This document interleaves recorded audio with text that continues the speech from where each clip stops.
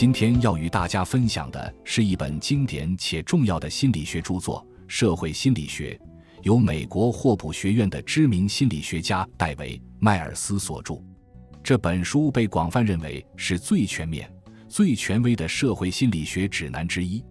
虽然书的内容厚重，但我会尽量在短短几十分钟内，帮助大家掌握社会心理学的精髓。社会心理学是心理学中的重要分支，因为它关注的是我们在日常人际交往中所遇到的种种问题与困惑。为什么我们会彼此吸引，有时却又互相疏远？爱情是如何萌生的？冲突该如何化解？为何我们容易被说服，容易随波逐流？在人群中，为什么有时我们会变成乌合之众？这些问题之所以引人关注。是因为他们与我们的幸福感息息相关。社交有时似乎是生活痛苦的来源。我们时常感叹他人即地狱，因为为了迎合他人的期望，我们不得不压抑或扭曲自我。有时我们又觉得世界是个草台班子，因为在光鲜的外表之下，总能看到阴险的人心和复杂的人性。然而，生命中最温暖与感动的瞬间。同样来自人与人的互动，与爱人牵手的甜蜜，与家人相伴的温馨，与伙伴并肩作战的激动，这些美好的感受是如此珍贵。那么，如何让社交互动成为一种滋养而非伤害？除了从生活经历中学习，社会心理学也能为我们提供有价值的启发。为了让大家更轻松地理解接下来的内容，我将沿着两条主线来讲解戴维。迈尔斯的社会心理学，第一条主线是人有强烈的归属渴望，这表明人们普遍渴望被认可、被肯定，希望被伙伴接纳并融入群体。说服术、从众行为以及各种群体失控现象背后，都能看到这种渴望的影响。它也深刻影响了我们对自我的认识。第二条主线是亲善与对抗并存，这概括了人际关系的两面性。一方面，人际关系中有亲密、友爱、互助等积极的一面，人们渴望建立亲密关系，展现利他的本能；另一方面，人际关系中也存在对立、伤害与冲突。从性别冲突到族群偏见，对抗的阴影无处不在。亲善与对抗交织在一起，构成了人际互动的基本途径。归属渴望和亲善与对抗这两条主线。串联起了书中的核心内容，为我们理解社会心理学提供了一个清晰的框架。鉴于社会心理学的内容非常丰富，这本书我们分成上下两集来分享。这集我们先讲归属渴望，我会通过下面这五个问题展开：一、为什么我们如此在意他人的目光？二、为什么我们总是自我感觉良好？三。为什么外在的行为会反过来影响内心的态度？四、最有效的说服术利用了什么心理？五、为什么会出现乌合之众？这五个问题不仅涵盖了本书多个章节的核心知识点，也能帮助我们洞察归属渴望对生活的影响，以及从中获得的启示。一、为什么我们如此在意他人的目光？人与人的交往。往往始于他人的目光，在人际互动中发生的许多事情，很大程度上取决于对方最初对你的印象是高看你一眼还是低看你一眼。因此，我们在他人心中的形象如何，往往决定了人际关系的走向。因此，人际互动中的首要任务就是管理好我们自己的形象。我们常常会有意或无意地采取各种手段。展现自己更优秀的一面，以提升自己在他人心目中的地位。这种努力在社会心理学中被称为印象管理。焦点效应。关于印象管理，有一个有趣的现象值得讨论。你是否有过这样的经历？早上起床后发现发型乱得无法收拾，但由于时间紧迫，来不及好好整理，只能稍微打理一下，匆忙赶去上班。整整一天。你都为自己凌乱的发型感到尴尬，然而，与你共事了一天的同事却没有一个人提到你的发型，难道他们都在暗中嘲笑你吗？实际上，很可能你是自作多情了。他们并不是在暗中嘲笑你，而是根本没有注意到你今天的形象。这种现象在心理学中被称为焦点效应，即我们常常误以为自己是众人瞩目的焦点，尽管多数时候这只是我们的错觉。这种错觉正是归属渴望的典型表现。我们之所以如此在意别人对我们的印象，是因为这会极大程度地影响他们是否接纳我们。这种目光焦虑渗透在各种社交场合中。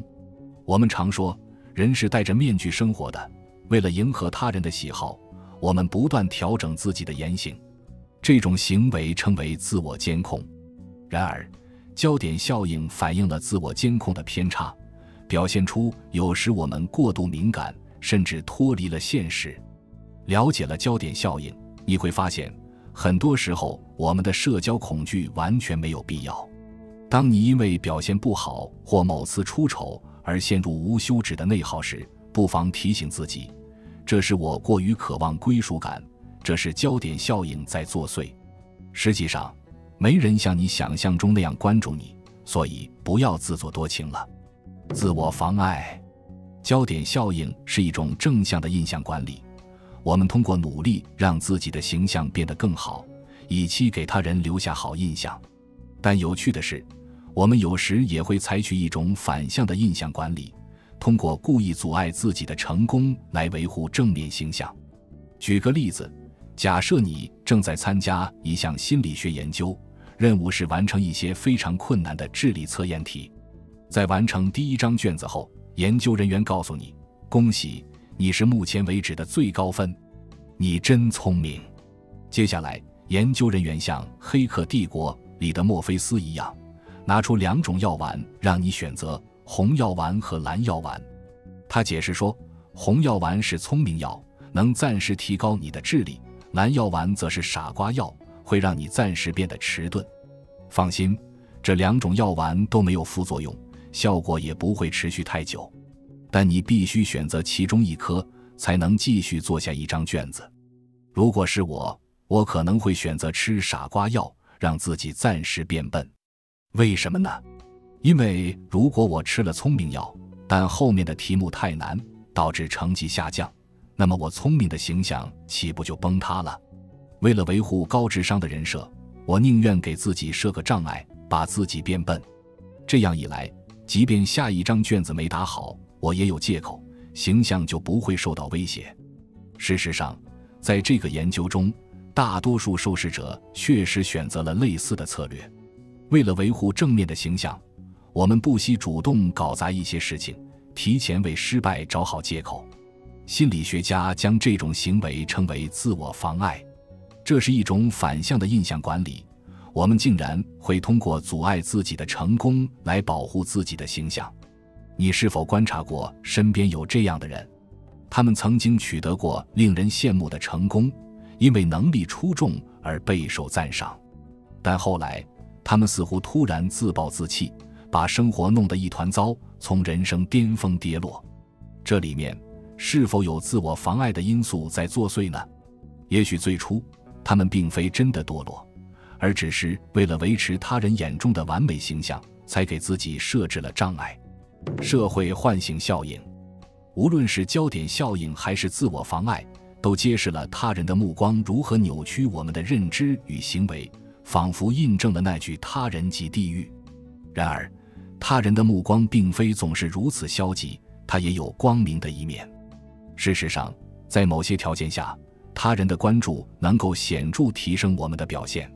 我们都曾体会过被人盯着工作和独自工作时的表现差异。比如，当你在台上演讲，面对众多观众时，你的表现会比在无人观众时更好还是更差？这取决于情况。如果你是一个演讲老手，演讲对你而言轻车熟路，那么观众的存在会让你的表现更出色。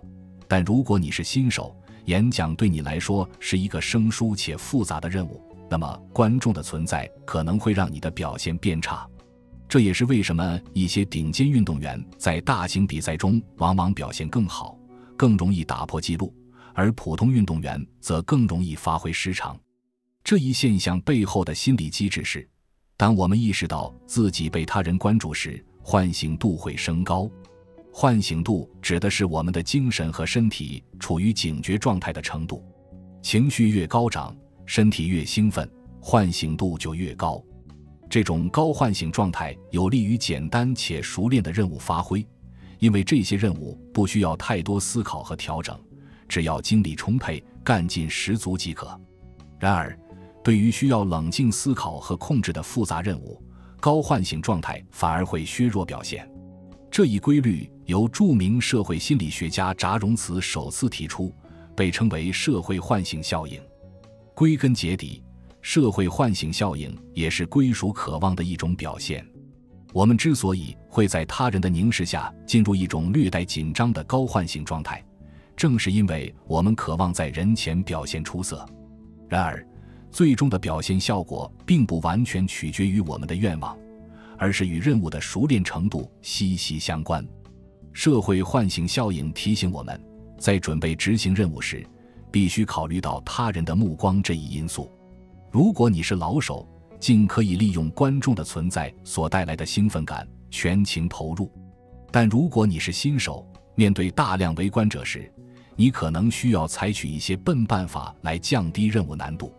比如，在进行一场直播前，可以准备好超出实际需要几倍的文稿，并多次彩排，以降低任务难度。因此。如果处理得当，他人的目光也能成为激发潜力、提升表现的积极力量。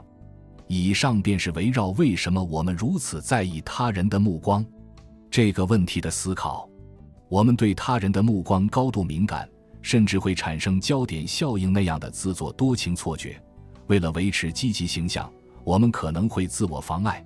在他人注视下，我们还可能出现社会唤醒效应，而这一切。都源于我们内心深处对归属感和被接纳的强烈渴望。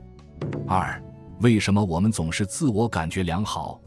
不知你有没有注意到，我们或多或少都有一种自我服务偏差。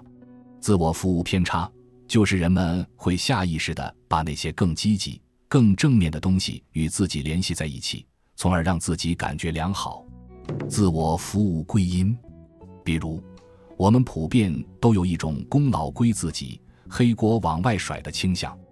语文考了九十五分是我用功，我太棒了；数学考了五十五分是老师出题太偏，错不在我。这个项目谈下来了，是我谈判能力出色。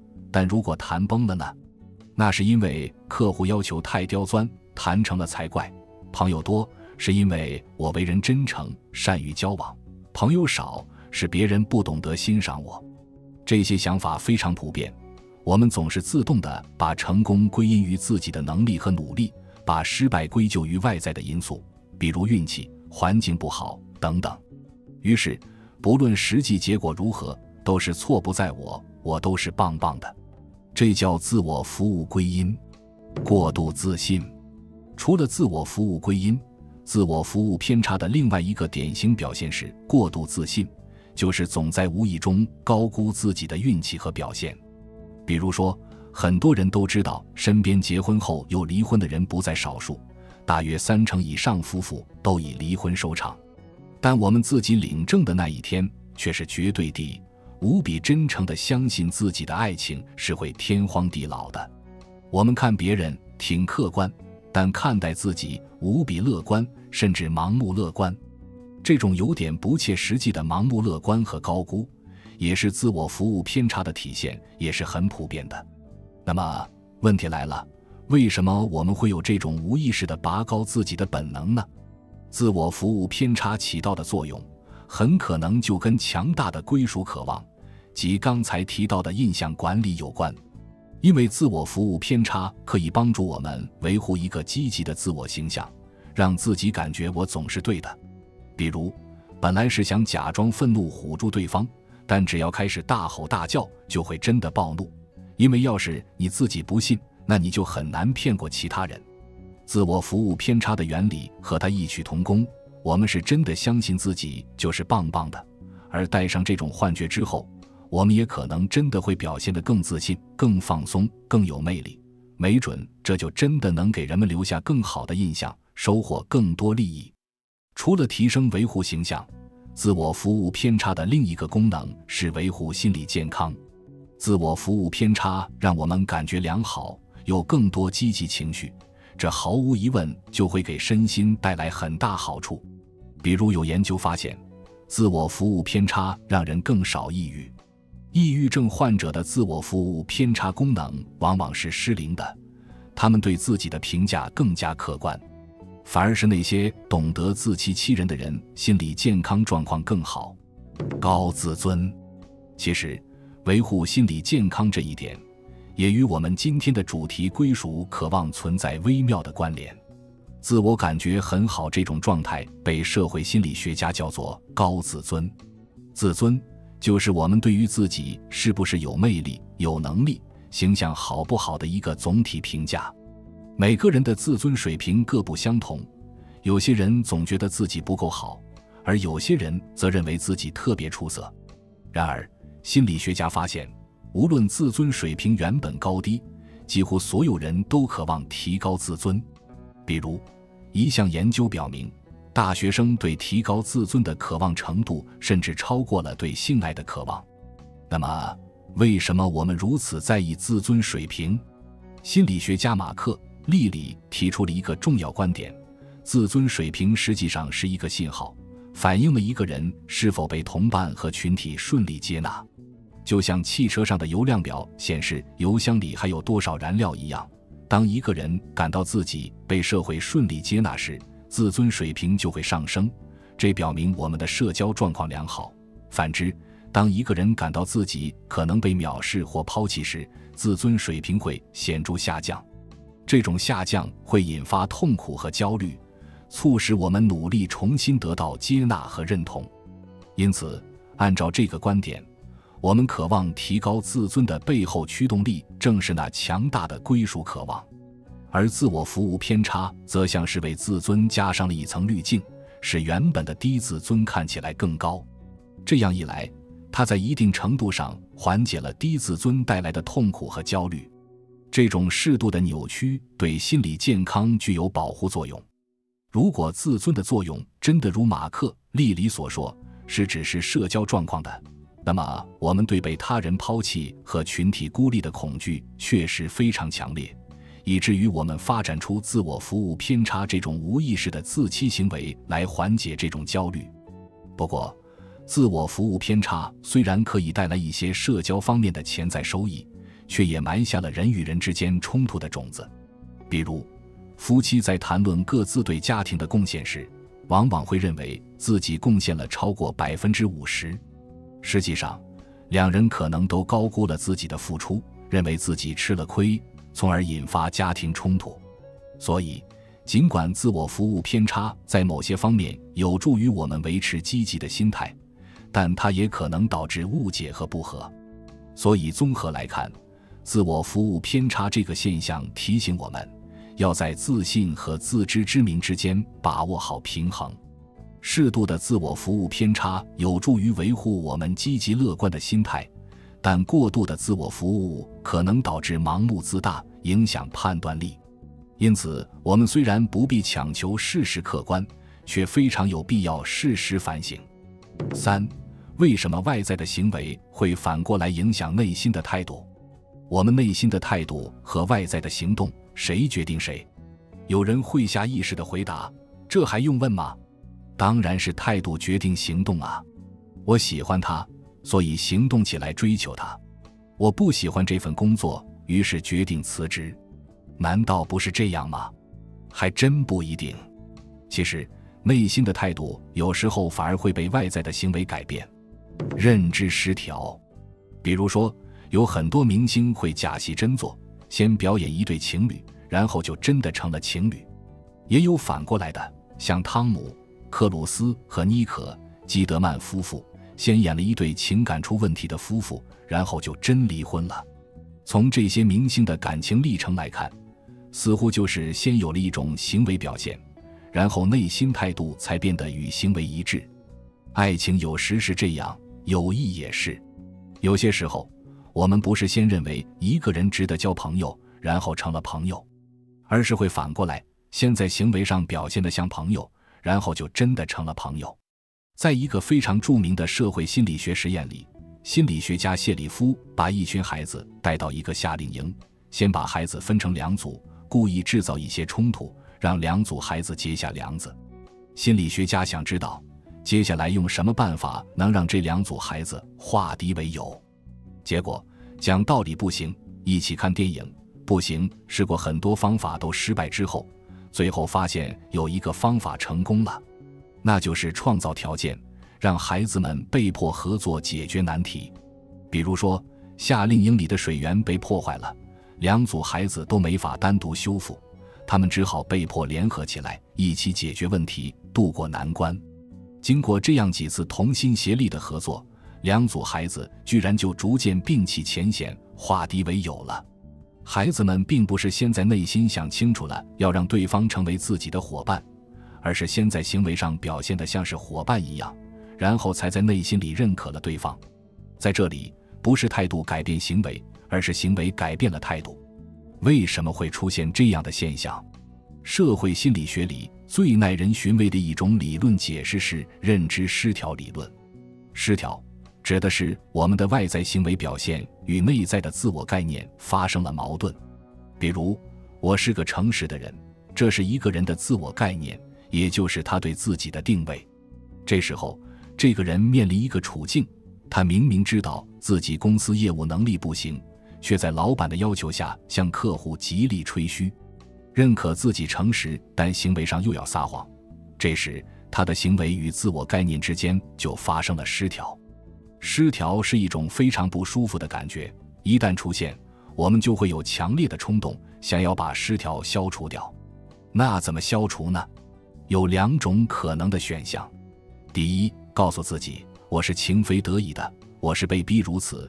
是老板给了我一大笔奖金让我吹牛的，我这都是看在钱的面子上。如果能找到这种支持行为的外部原因，那么失调自然也就不存在了。那如果找不到足够强的外部原因呢？如果老板并没给我们什么额外的好处，那怎么办？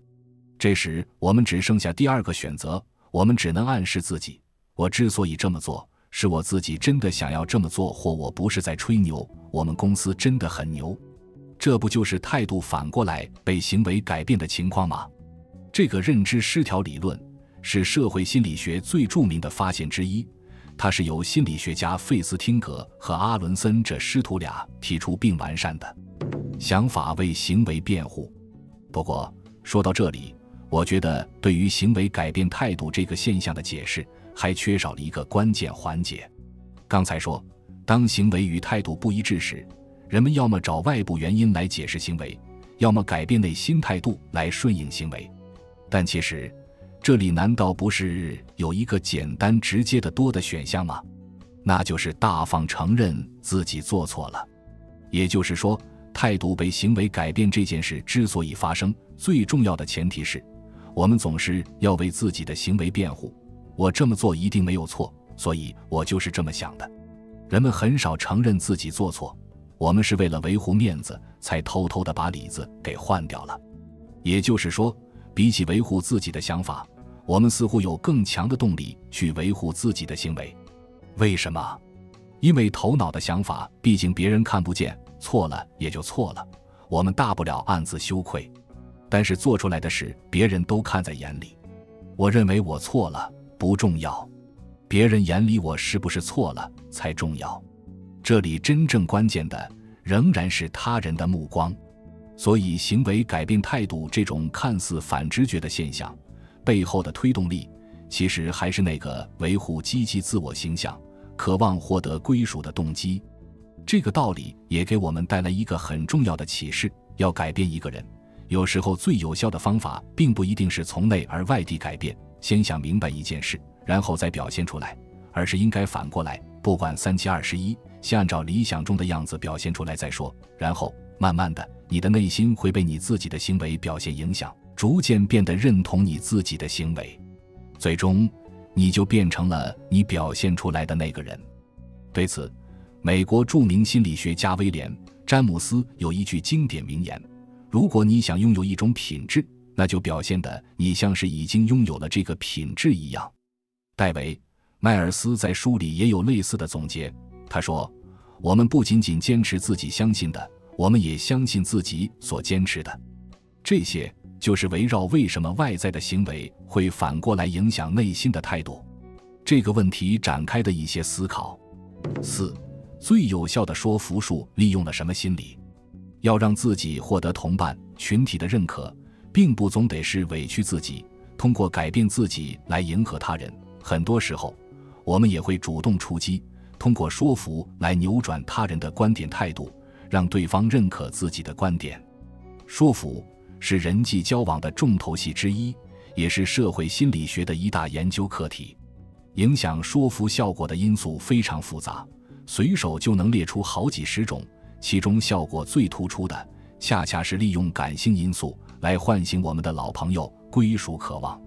针对人的归属渴望下手，说服效果出奇的好。登门槛说服术，比如说，西方国家早年间那些上门推销产品的推销员，曾经发明过一种非常有效的说服策略，叫做登门槛技术。大致是这样的。一个推销员来敲门，他先不直接向你销售产品，而是问你能不能借口水喝。面对这么小的一个要求，善良的你当然一口答应了。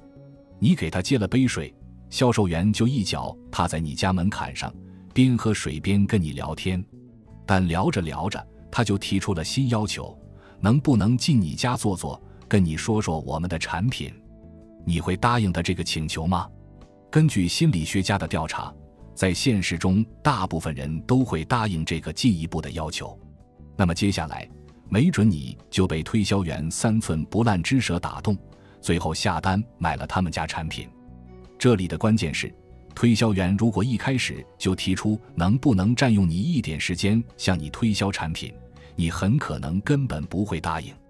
但推销员的做法是，先提出一个微不足道的小请求。先踏上你家门槛，然后再提出一个更过分的要求进你家门。很奇怪，先小后大，你就答应了。为什么？这是因为我们内心中有一种潜在的心理压力，要求自己的言行保持前后一致的压力。由于我们先答应了对方一个小要求，等于传达出一个接受对方、向对方表达友好的信号。这时，他提出一个更过分的要求。你为了自己的行为保持前后一致，就会在潜意识里说服自己继续接受对方的要求。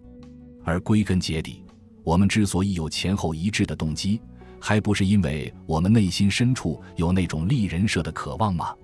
我们在潜意识里想要给人留下一个好印象，让他们知道自己是一个办事可靠、不随意变卦的人。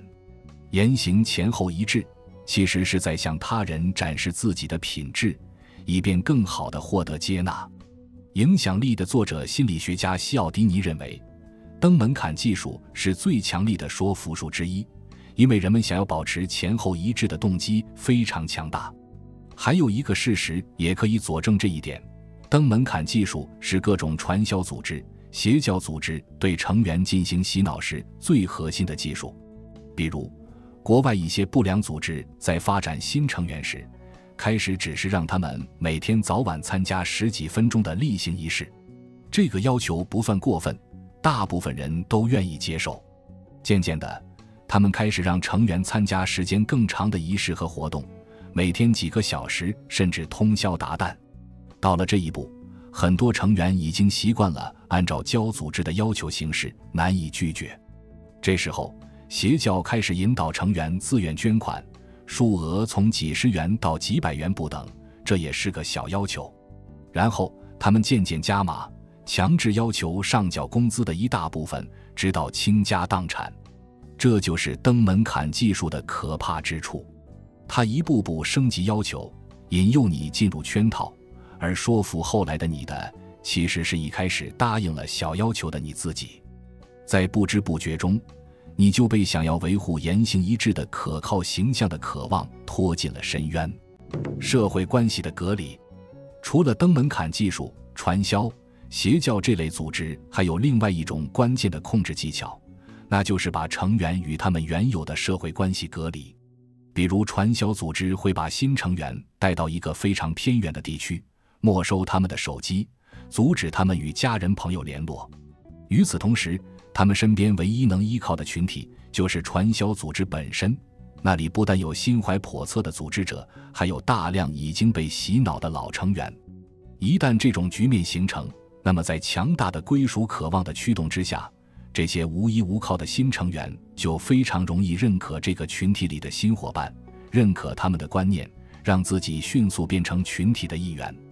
登门槛也好，通过隔离社会关系来洗脑也好，我们追溯到根本。发现他们利用的都是人们渴望维持一个良好形象，以便获得接纳、渴望归属群体的动机。虽然刚才说的这些原理可以用在一些体面的场合，用来增加我们自己的说服能力，但在这一部分的最后，我主要还是想说说该怎么做防御，怎样保护自己，别着了这些厉害的说服术的道。第一种思路是用魔法对抗魔法。用与说服者同样的技巧来巩固自己原有的信念，比如说，登门槛技术是诱导人们先表明一个观念，然后利用你自己希望保持前后一致的心理来巩固它。那么，利用同样的原理，当我们察觉到有人要对自己展开说服攻势时，就要立刻抢他先手，预先把自己的观点说出来，公开站在自己的信念这一边之后，就不太容易再受别人观点的影响了。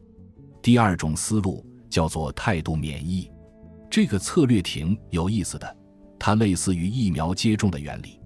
面对疾病，我们可以提前接种一个弱化版的病毒，让身体产生抗体，从而抵御真正的病毒入侵。同样，我们也可以提前接触一些与自己观点相左的论据，尝试去反驳他们。这个过程就像是给我们的态度接种疫苗。能帮助我们更好地抵御日后他人的说服。比如说，如果你支持环保，那你就可以试着去了解一些反对环保的观点，去思考他们似是而非的地方。通过这个过程，你的环保态度就会被巩固，因为你已经预先考虑过反面观点，并且找到了破解之道。这样一来，以后有人试图说服你放弃环保立场时，你就能更从容的应对。刚才这些就是我们围绕最有效的说服术利用了什么心理这个问题展开的一些思考。五、为什么会出现乌合之众？一九六一年，美国总统肯尼迪和他的军事幕僚经过一番讨论之后，一致建议组织流亡的古巴军人武装入侵古巴，推翻刚成立的卡斯特罗政权。这个不义的入侵行动最终惨败。入侵的军队在古巴南部的猪湾这个地方登陆后，没几天就被团灭，成为国际笑柄，史称“猪湾事件”。这也是肯尼迪总统政治生涯最大的污点。肯尼迪政府的决定事后看来极其草率，肯尼迪和他的幕僚对行动的风险评估严重不足，还忽视了军事专家的警告。集体陷入胜券在握的盲目乐观中，妄想能够取得入侵的胜利。那么，这些美国政府的精英们为什么合在一起就变成了一帮乌合之众呢？群体思维，肯尼迪和他的幕僚所经历的是一种叫做群体思维的现象。群体思维就是团队的成员为了追求一致、维护和谐，压制自己的怀疑。结果最后，大家都一致的拥护一个错误百出的决策。当时肯尼迪的幕僚中没有一个任何敢于唱反调的人，所有人都相互迎合，最后一团和气的彼此确认了错的离谱的判断。这是群体思维的典型案例。群体思维其实是群体里所有人都相互从众的状况。你可能听过一个非常著名的从众心理实验。研究者要求一群人判断哪条线与标准线一样的长短，答案非常明显，只要不是睁眼瞎都能答对。这群人里其实只有一个是真正的受试者，其他人都是托儿。一开始大家都答对了，但到了某一轮，那些托齐刷刷给出错误答案。受试者虽然心中有数，但在从众的压力之下，许多人最后还是违心附和那些托的选择。这个实验非常生动，展现了从众心理的威力有多大。人们宁可抛弃自己明显正确的判断，也要随波逐流，哪怕你们都是错的，我也要跟你们一起错。我们之所以那么容易从众，有些时候是因为信息不足，难以判断形势，随大流往往是最稳妥的选择。比如突然看到对面一群人一脸惊恐地跑过来，最稳妥的反应当然是立刻跟着他们一起跑。但更多时候，我们之所以从众，还是因为强大的归属渴望。如何保证自己被群体接纳，在群体中有一席之地？从众就是一个简单有效的加分项。人们有时候欣赏能力强的人，有时候欣赏做事靠谱的人，而在任何时候。人们都喜欢跟自己相似、跟自己同步的人。我跟你们是一样的，这就是我们通过从众传递出的信号。而从众的压力一旦在一个群体里蔓延开来，就会出现前面说的群体思维现象：你好，我好，大家好，最后酿成了你错我错大家错。群体极化。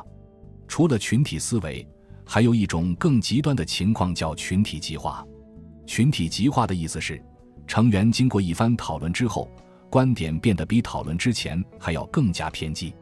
比如，一个原本偏保守的投资团队，讨论企业并购话题后，变得更加反对风险投资。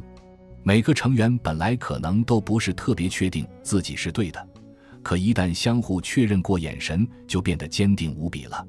这就比群体思维更近了一步。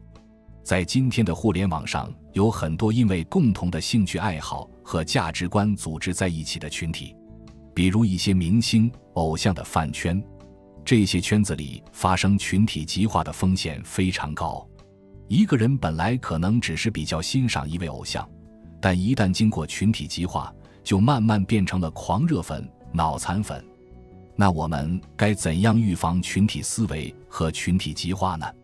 心理学家贾尼斯提出过一些非常实用的建议：第一，团体讨论开始的时候，不要让成员过早表态，这样可以减轻大家的从众压力，更没有顾忌地发表意见；第二，设置一个讨论的魔鬼代言人，也就是一个专门负责抬杠的人，专门从反面角度质疑现有方案。如果小组里真的有持不同意见的成员，那就更好了。第三，把大群体拆成几个小组，分头讨论后再合并汇报。人数较少的小组讨论更容易产生不同观点，而不是盲目跟从多数。第四，邀请局外专家或合作伙伴参与讨论，提出批评意见。外人视角可能发现内部成员难以察觉的问题。第五，在最终实施决策前，再召开一次第二次机会会议。所谓第二次机会，就是给曾经反对或质疑的声音一个重新发言的机会，哪怕他们已经被说服了。这是再次反思方案的重要时机。如果这时还有人坚持不同意见，一定要慎重对待。总之，想要预防群体思维和群体极化，那就既要营造一个包容差异、鼓励批判的讨论氛围，也要通过合理的机制，让反对的声音能发出来。责任扩散、群体思维、群体极化是缔造乌合之众的两种机制。除此之外，还有第三种机制，那就是责任扩散。责任扩散的意思是，随着个人融入群体，个体的责任感会变得非常单薄。人单独行动时，心里总是绷着一根弦，是要为自己的言行负责的；而一旦融入群体，这根弦就松懈了。这也会带来不少消极后果，比如说，如果很多人一起做项目时责任不明确，那人们就会搭便车、出工不出力，变成三个和尚没水喝。再比如说，如果有茫茫人海做掩护，人们不用对自己的言行负责，那么过激的言行就会增多。球迷各自看比赛时，可能一个个都是守法公民，但聚在一起看球赛。变身足球流氓的概率就大幅上升。再比如说，有人遇到危险时，如果周围只有你一个人看到了，那你很可能会伸出援手；但如果旁观者很多的时候，反而经常会出现一种集体冷漠，没有人伸手帮忙。这也是因为身处群体时，责任变得不明确，每个人都觉得这事未必该由我管。那有没有一些措施可以减轻责任扩散的危害呢？方法就是，我们要通过一些方法增加个体的可辨识度，让隐没在茫茫人海的个体重新凸显出来，这会让消散的责任感重新浮现。个体在群体中的可辨识度越高，越容易被认出来的时候，责任扩散现象就越少发生。比如在团队合作时，可以通过实名制。轮流发言这些方法来提高个体曝光度，激发责任感，还可以事先明确每个人的分工和责任，避免出现责任模糊。而对于那些等待被帮助的人，也有一个实用建议，那就是不要模糊地、笼统的呼救，而是要把责任落实到身边一个具体的人。要看着边上的一个人说：“这位穿红色 T 恤的先生，我需要你的帮助，请你过来帮一下我。”这会大大激发那个围观者的责任感，而一旦他伸出援手，其他人就会从众。这就是我们围绕为什么会出现乌合之众这个问题展开的一些思考。六总结：通过刚才这五个问题，我们从人们对自我的认识开始，一路说到态度的改变、说服的效果，以及人在群体中的迷失。从这么多例子里，我们都看到。在面对他人、面对群体的时候，人们会尽力证明自己能力出众、品质优秀，证明自己与对方趣味相投，而这种种表现都反映出人有一种渴望被伙伴认同、被群体接纳的强烈动机。这种动机之所以这么强烈，背后其实有非常合理的缘由，那就是我们人类这个物种单个个体的生存能力是有限的，力量。速度什么的都一般，可一旦很多人联合起来，组成一个群体，通过相互关照、相互学习启发以及分工合作，人类的力量就会变得异常强大。征服这个世界的不是任何一个个体，而是人类这个群体。总体上，人类组成群体后，非但不是乌合之众，反而是战斗力远超个人的精英团队。显然。归属于群体这种渴望是一种保障我们生存和繁衍的心理机制，甚至可能是最重要的一种心理机制。但是，刚才的一些例子也让我们看到，归属渴望也有它的黑暗面。证明自己优秀的同时，会造成很多不切实际的幻觉；证明自己可靠的心理可能会被人利用来洗脑，而迎合群体的冲动会造成群体观点严重扭曲，个体责任消散。可见，归属动机是一把双刃剑。很多时候，我们必须努力思考如何平衡小我和大我。个体要主动融入集体，但也要保持独立人格；要听取不同声音，但也要坚守原则底线。群体既要抱团取暖，也要设立制度，让不同的意见发生。只有小我和大我优势互补，我们才能在与伙伴的守望相助中。实现个人与集体的和谐共生，这就是我们分享《社会心理学》这本书的上半部分。下一期，我们转向理解社会心理的第二条线索：亲善与对抗并存。下期我们会涉及的问题有：在爱情关系中，我们会被什么样的人吸引？人们的利他、助人行为到底是图些什么？个体差异，比如性别差异，如何阻碍相互理解？如何破解囚徒困境，以及偏见如何形成、怎样应对等等。好了，本期就到这里。如果您觉得我们的视频不错的话欢迎点赞订阅并转发给身边的朋友也欢迎你在留言区给出你的分享。我们下一期再见。